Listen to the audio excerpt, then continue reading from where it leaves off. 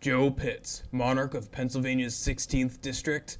Fact. Joe Pitts promised to limit his time in office to 10 years. Fact. Joe Pitts has been in office for 16 years. Fact. Joe Pitts voted for National Prayer Day. Fact, Joe Pitts voted for a constitutional amendment that would allow public officials to lead in religious practices in public buildings, meaning government bodies could be started with a sermon of prayer and schools could be led in prayer by a principal, which, while not forced, would definitely be socially coercive towards youth. And both of these are definitely a step away from separation of church and state, one of the founding principles of our government that is important to giving everyone equal say in government. Fact. Joe Pitts is a monarch.